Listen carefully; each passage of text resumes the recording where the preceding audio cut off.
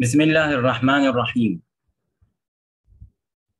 كيف فهم شبستري الهرمنيوطيقة وكيف وظفها في قراءة النص الديني؟ الإصلاح الديني. له صور متعددة.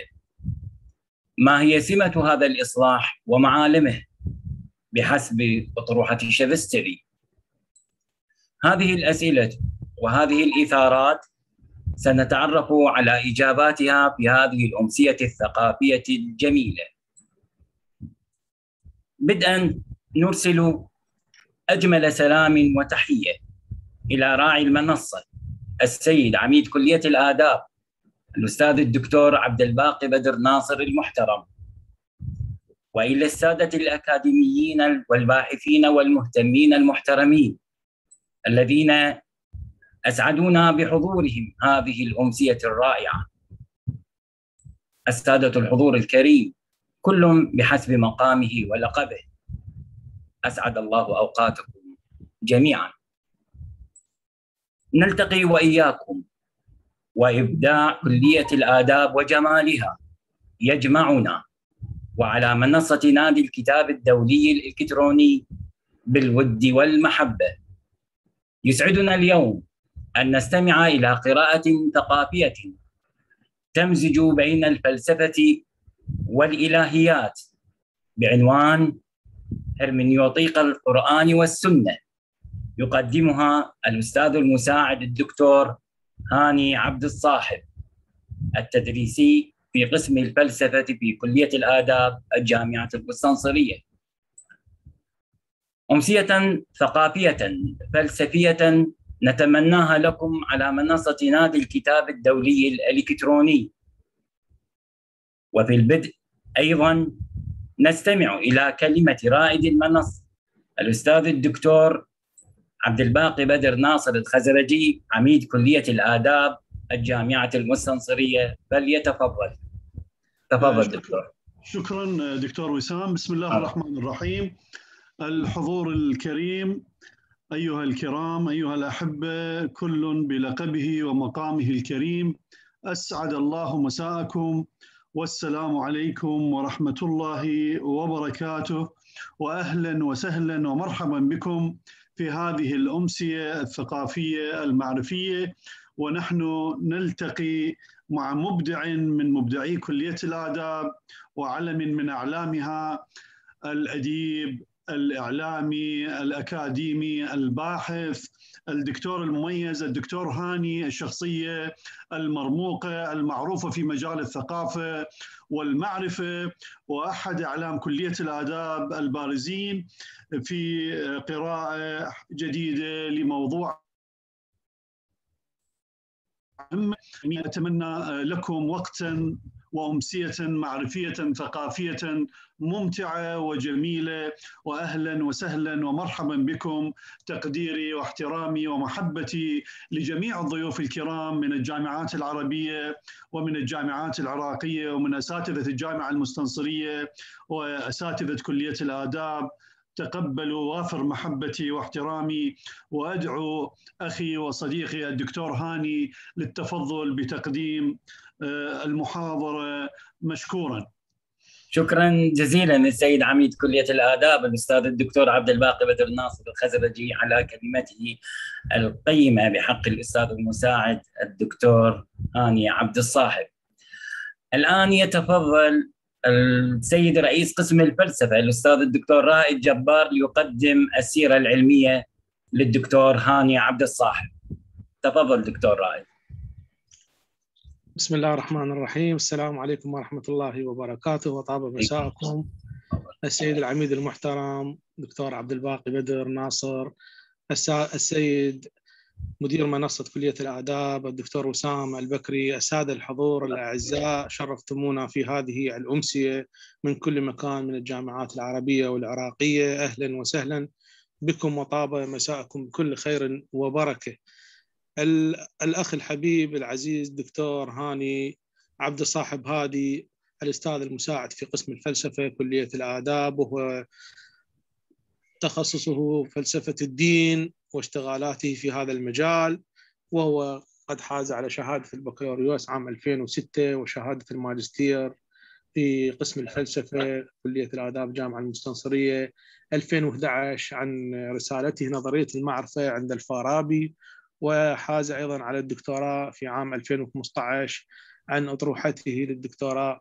طبعا كانت الماجستير نظرية المعرفة عند الفارابي وأطروحته للدكتوراه 2015 عن فلسفة الدين عند بول تيلش وطبعا صدرت هذه آه، ضمن مؤلفات الدكتور هاني في كتابين مرموقين من مؤلفاته آه، عن الفارابي وعن بول تلش وتخصصه كما ذكرت فلسفة الدين وهو مختص في هذا المجال في بحوثه ودراساته ومحاضراته التي دائما رائد في هذا المجال وقد كتب بحوث آه، متعددة في هذا المجال. أهمها كان بحث التنوير في المعرفة الدينية. آه، عبد الكريم سروش أنموذجا نشر في مجلة كلية الآداب وبحث عن فلسفة الدين وسبينوزا. أيضا بحث عن الهرمنيوطيقا بوصفها أصلا دينيا عند محمد مجتهد شبستري. صاحب الكتاب والمحاضرة هذا اليوم وبحثه الأخير عن بواعث الإيمان قراءة في المحتوى الديني عند سورين كيركجارد طبعا دكتور هاني آه، في محاضراته وبحوثه دائما آه، يريد أن يدمج ما بين فلسفة الدين ب محتواها الغربي في الفكر المعاصر وفلسفة الدين في الفكر الإسلامي المعاصر وله بحوث في هذا المجال كما ذكرت. و وهذا الاهتمام وهذا الحرص الشديد منه آه، جعله يقدم هذه المحاضرة في هذه الأمسية عن هرمنطقة القرآن والسنة عند محمد مجتهد شبستري وهم الكتب المهمة وشبستري معروف مفكر إيراني له ريادة مهمة في مجال فلسفة الأخلاق وفلسفة الدين والفكر الإسلامي. عسى أن نجد في هذه الأمسية ما يصبو له الأخوة الحضور وأن نستمع لشيء جديد إن شاء الله من خلال هذه المحاضرة لينير أسماعنا الدكتور هاني مشكورا بقراءته الموفقة لهذا الكتاب إن شاء الله. وأرحب وأكرر الترحيب بكم أحبتي الأعزاء من كل مكان وشكرا جزيلا لحضوركم واهتمامكم وحرصكم الشديد على حضور هذه الأمسية الموفقة إن شاء الله. والسلام عليكم ورحمة الله وبركاته. وعليكم السلام ورحمة الله وبركاته. شكرا جزيلا أستاذ الدكتور رائد جبار رئيس قسم الفلسفة لتقديمه السيرة العلمية الموجزة للأستاذ المساعد الدكتور هاني عبد الصاحب. الآن يتفضل الأستاذ المساعد الدكتور هاني عبد الصاحب ليقدم قراءته الثقافية الممتزجة بعبق الفلسفة والثقافة والإلهيات. وهي قراءة في كتابه هرمنيوطيق القرآن والسنة. وهذا الكتاب من تأليف الدكتور محمد مجتهد شبستري. فليتفضل. دكتور هاني. شكرا جزيلا دكتور وسام. هلا. مرحبا الصوت واضح؟ بسم الله الرحمن الرحيم. إن شاء الله. آه، بداية السيد كلية الآداب المحترم السادة المعاونون السادة رؤساء الأقسام التدريسيات التدريسيون. كل بحسب عنوانه ومقامه. الحضور جميعا. السلام عليكم ورحمة الله وبركاته. شكرا جزيلا مرة أخرى دكتور عبد الباقي دكتور عميد كلية الآداب المحترم على كلماته وعلى حسن ظنه بتدريسيه بكليته آه، حتى أستغل الوقت آه، عنوان الكتاب هو هرمونوطيق القرآن والسنة وبترجمة أخرى هرمونوطيق الكتاب والسنة. لكن قبل ذلك اسمحوا لي أن أعرج قليلا على مؤلف هذا الكتاب الدكتور محمد مجتهد شبستري هو المفكر الإيراني الذي ولد سنة 1936 في منطقة شبستر بإيران. معروف هو ابن الحوزة العلمية درس قرابة ال 17 سنة في قم المقدسة. لكن فيما بعد حدث لديه انزياح أو نوعا ما توجه نحو التصوف والفلسفة وعلم الكلام فبالتالي غادر شيئا ما مساحة العلوم الشرعية، عرف بتأثره في بداياته بأستاذين كبيرين. الأول هو السيد الطباطبائي صاحب تفسير الميزان والثاني السيد الخميني مؤسس الجمهورية الإسلامية. هذا من جانب. من جانب آخر أيضا يعني تأثر بجلال آل أحمد بعلي شريعتي بمرتضى مطهري.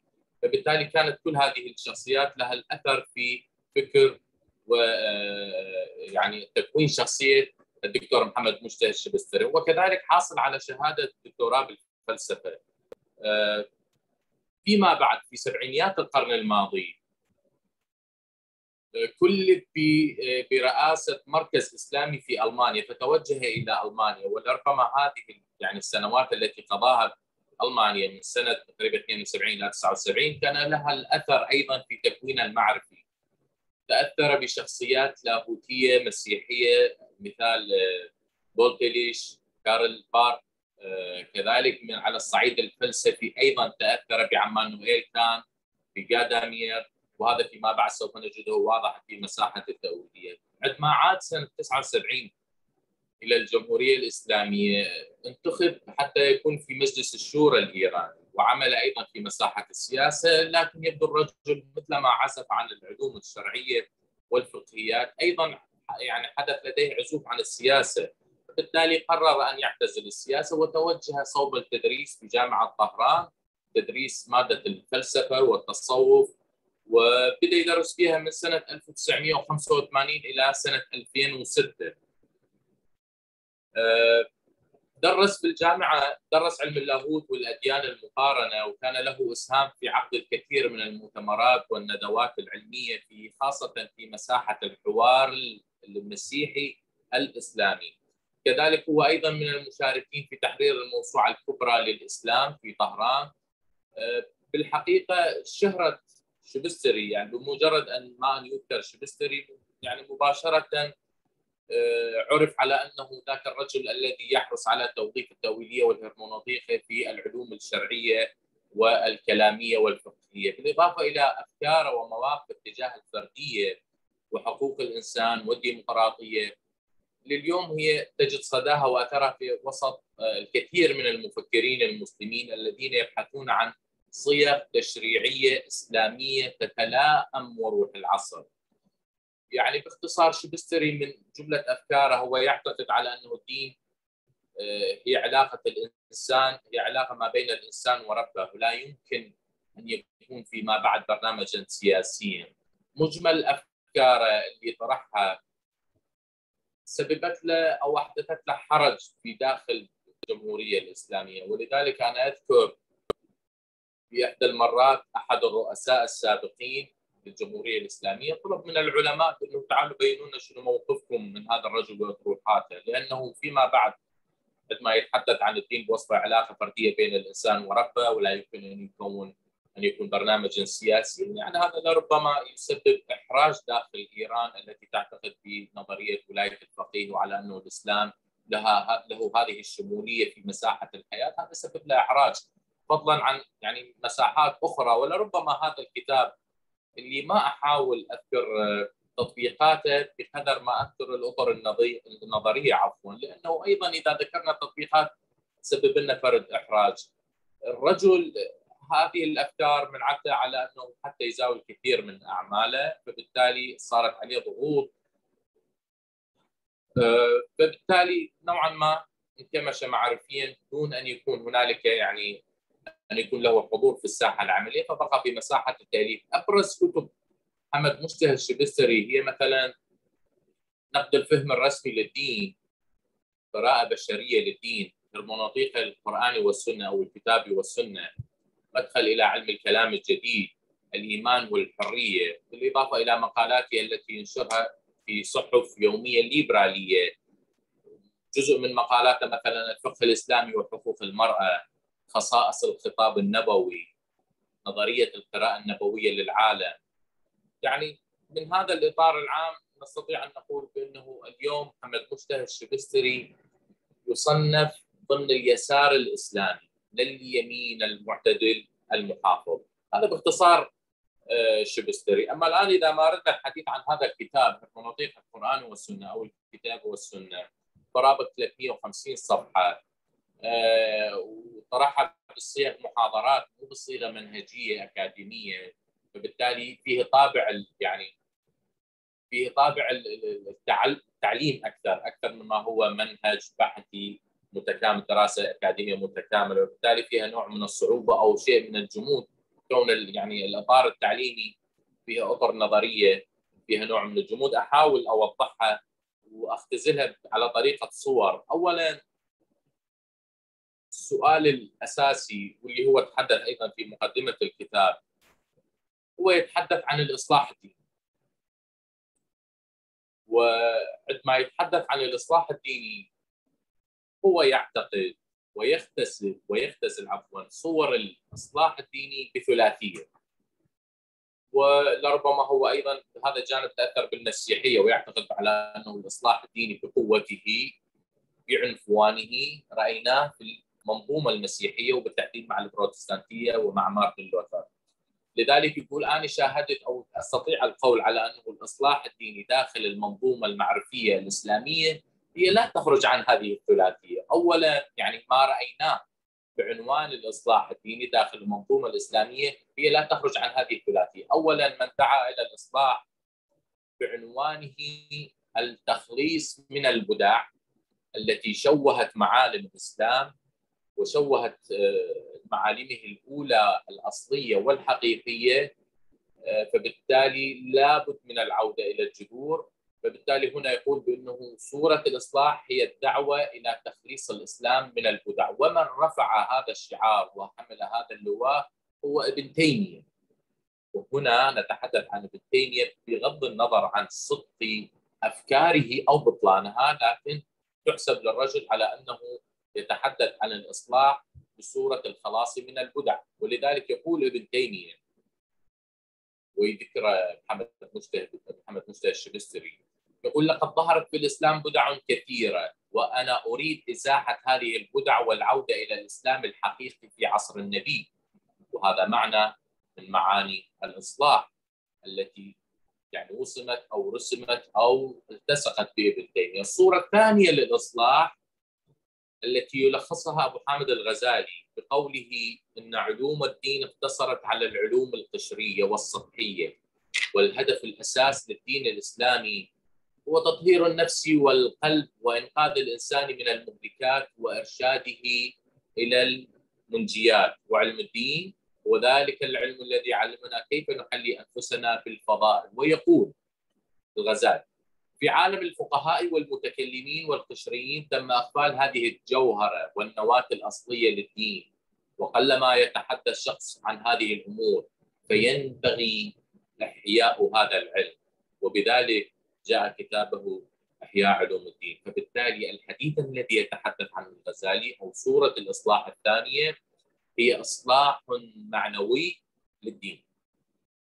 أما الصورة الثالثة للإصلاح والمعنى الثالث للإصلاح وهو أكيد يختلف عن الأول والثاني، الأول بعنوان البدع ازاله البدع، الثاني بعنوان إحياء المعنوية داخل الدين، الثالثة لا، الثالثة هي قراءة جديدة للدين أو إعادة فهم الخطاب الديني أو الفهم الديني، وبالتالي هذا النوع الثالث هو ناظر إلى الإنسان بعنوانه المعاصر وإلى التطورات والتغيرات والمستجدات وكل ما يحدث في إطار راهنية الإنسان مع هذه العلوم ومستجداتها. فبالتالي الإصلاح الثالث هو إعادة إنتاج الفهم الديني. وبهذه المساحة ينتمي محمد مشتهى الشبستري إلى هذه أو إلى الإصلاح الثالث وهو اعاده إنتاج الفهم الديني أو اعاده قراءة الفهم الديني. لكن عندما نتحدث عن عن محمد مشتهى الشبستري وهو يتحدث لنا عن صور الإصلاح الديني ويذكر لنا ثلاث نماذج وبالتالي يصنف نفسه في النموذج الثالث وهو إعادة إنتاج الخطاب الديني وإعادة قراءته. فبالتالي أنا أسأل هذا السؤال أول. يا شبستري أنت ماذا تقصد بالفكر الديني؟ لأنه حتى في هذه المساحة له قراءة جديدة. فبالتالي آه، يقول محمد مجتهد الشبستري أنا لا أقصد بالفكر الديني هو امتلاك تصور فلسفي حيال العالم ولا أقصد بالفكر الديني هو فهم لغوي للقران والسنة طيب إذا ما كان لا صورة وتصور فلسفي للعالم ولا فهم لغوي للقران والسنة إذا إيش تقصد بالفكر الديني؟ يقول أنا أقصد بالفكر الديني ذاك المتكون من ثلاث أشياء. اولا الإنسان ثانيا اولا تجربة الإنسان ثانيا تجربة العالم ثالثا تجربة ظاهرة الوحي. إذا ما اجتمعت هذه الثلاثية بالتالي كونت لنا الفكر الديني. بمعنى الإنسان يعيش تجربته يعيش تجربته ويفهم نفسه ومن ثم يعيش تجربة العالم ويطلع عليها ويفهمها. بامتزاج هذين العنصرين يتوجه إلى ظاهرة الوحي ويقرأها بتوافق وتناسق وحضور لكل هذه الثلاثية. تجربة نفسي والمحيط اللي أنا عايش فيه العالم بكل تصوراته ومن ثم أتجه إلى ظاهرة الوحي وهي لا تنعزل عن هذه الثنائية اللي سبقتها فبالتالي الفكر الديني هي هذه الثلاثية التي يطرحها محمد مجتهد شبستري. هذا في بداية الكتاب. الآن ننتقل ما نتحدث عن ال...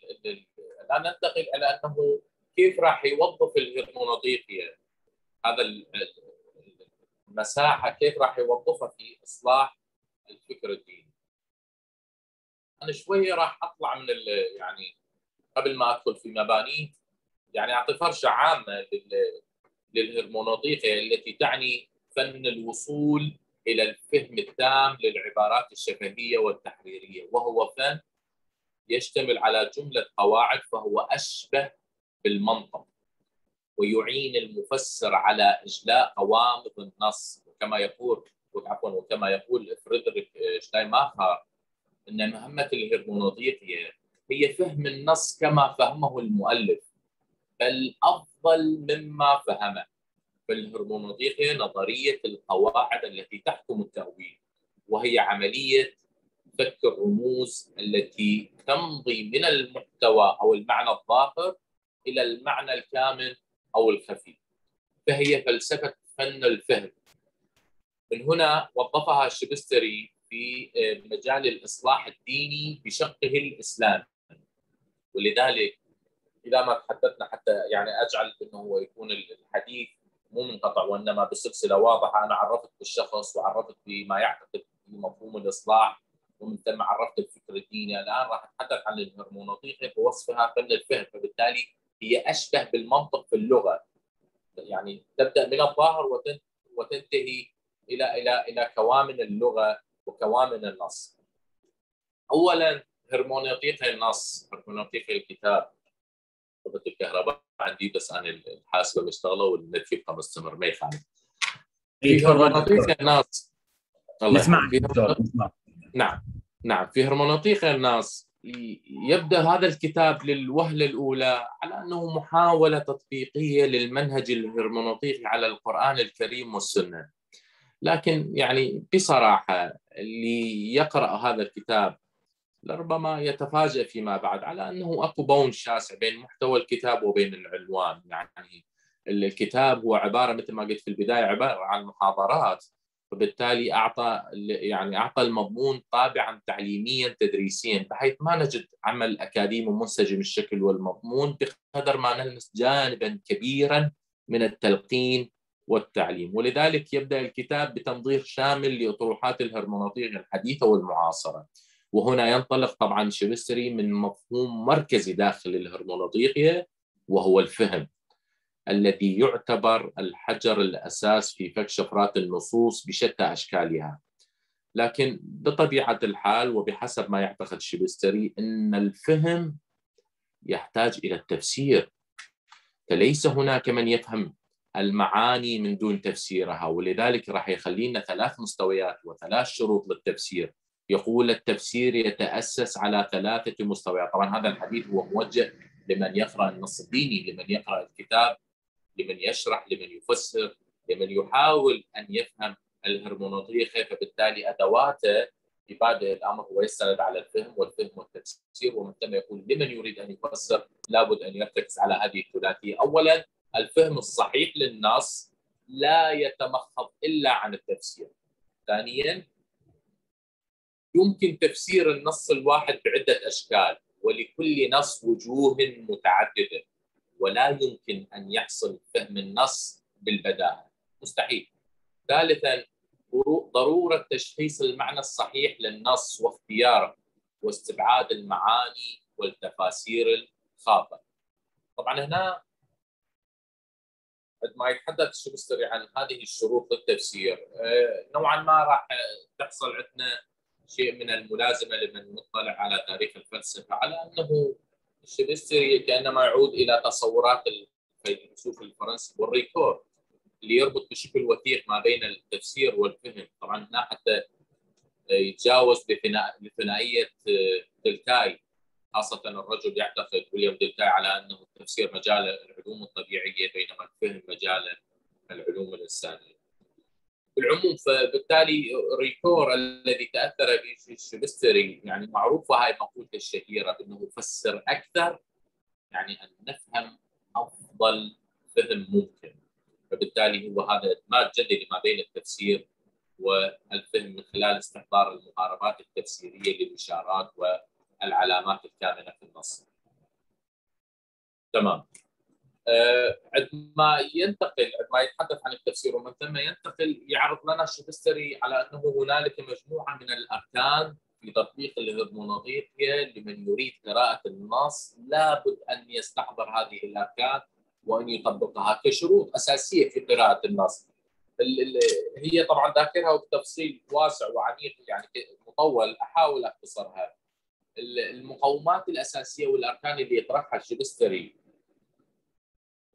في هرمونوطيقيا هي اولا النقاط الأساسية هي اولا القبليات أو المسبوقات الذهنية للمفسر والدور الهرمونوطيقي والمراد بهذه النقطة بأن أي عالم أو مفسر أو كاتب لا يستطيع أن يخلق أفكاره ومعارفه من العدم ويسوق آراء ونظريات من الصفر. مستحيل. فكل شخص أراد الحصول على معرفة أكثر فانه يملك مسبقا معرفة مجملة لهذا الموضوع. فلا يوجد نص من شأنه أن يفهم مرة واحدة وبدون مقدمة وبدون التحرك من مرحلة إلى مرحلة أخرى وتكميل الفهم السابق والانتقال إلى فهم جديد في المرحلة التالية ذهاب وإياب وطي مراحل مختلفة في عملية فهم النص. فهناك دوما قبليات ومفروضات ذهنية في ذهن القارئ للنص، ما ممكن واحد يأتي على النص وهو خالي المعنى، يقول لابد أن تكون هنالك قبليات ومسبوقات ذهنية لها الدور في التفسير. ثانيا التوقعات والميول المرشدة للمفسر. يرى شبستري إن ميول وتطلعات ومحفزات المفسر هي التي تدفعه لاستنطاق النص وإثارة الاستفهامات على النص وفهمه هي إحدى أنواع القبليات والمقدمات في عملية الفهم والتفسير. اذ إن الإنسان يتحفز للسؤال من داخله فالمتقوقع عفوا اذ إن الإنسان يتحفز للسؤال من داخله فالمتوقع من تفسير النصوص هو الوصول إلى هدف موجود في ذهن الشخص ويتوقع الحصول على جواب له. والنقطة المهمة في هذا التوقع لا يمثل حالة نفسانية فقط بل يعتبر من مقدمات ومقومات وأهم أنواع الدعوة المعرفية. باختصار طبعا. ثالثا كشف مركز معنى النص. شبستر يحدد المراد آه، ببؤرة معنى النص. وجهة النظر الرئيسية التي تدور حول محورها جميع معطيات معطيات النص في الرؤية الأصلية التي تدور حولها جميع المعاني في النص. وواضح أنه من المهم جدا تشخيص هذا الأساس أي بورة معنى النص وفهم كل نص باعتباره بناء يقوم على هذا الأساس. فالشخص الوحيد الذي يستطيع تفسير نص معين هو الذي يرى وجود وحدة للنص. هذا باختصار. رابعا ترجمة معنى النص في الأفق التاريخي للمفسر. طبعا هذه هذه النقطة الرابعة شديدة الحساسية. والحديث هنا المراد بأن الإطار التاريخي الذي يعيشه المفسر يجعل من التجارب مختلفة كليا. فعندما يعيش المفسر افق في أفق تاريخي مختلف عن الأفق التاريخي لموجد النص. وتكون تجارب كل واحد منهما عن نفسه وعن العالم مختلفة. فينبغي للعثور على معنى النص في الأفق التاريخي للمفسر. أي لابد القيام بترجمة خاصة ومن المعلوم أن هذه الترجمة ليست ترجمة لغوية و...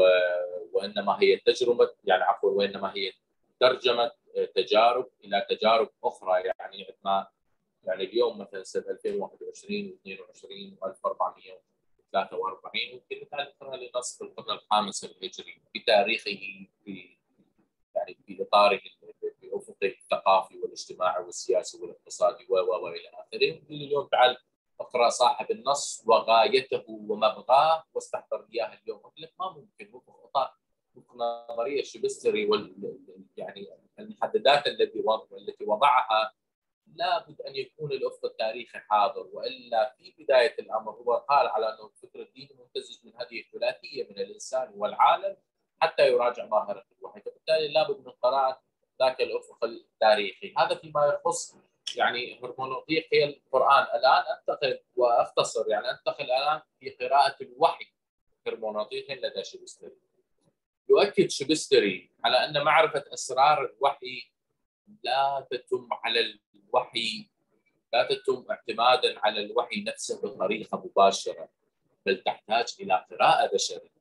فلا أحد يمكنه أن أن يقبل على الوحي دون دون مسبقات قبلية قبلية. فالمعرفة الإنسانية هي الأس الذي يمكن الاعتماد عليه في فهم الوحي. فلا أحد يخرج من بطن أمه حاملا باستدلالاته معه. والذين يرتبطون بالحقائق عن طريق أنوار الإشراق والعرفان كل نادرا. تكمن هنا أهمية اطروحه في إخراج الوحي من طابعه المتعالي وأقحامه في مجال التاريخ، ذلك إن الانتقال من الشفوي إلى المكتوب يحدث تماسا بين المتلقي والمرسل، ليس هناك يعني ليس لأن المكتوب بغير يعبر عن شيء آخر غير ذلك الذي يعبر عنه الشفوي بل لأن هذا الأخير أي الشفوي آه، يمكنه أن يتلاشى ويندثر عكس المكتوب الذي يحدث نوعا من المقاومة إذ إنه يمثل نصبا تذكاريا لا يمكن مقاومته. يفتح النص المكتوب آفاق